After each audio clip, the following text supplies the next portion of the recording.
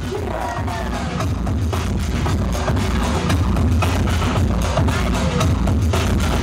up the tempo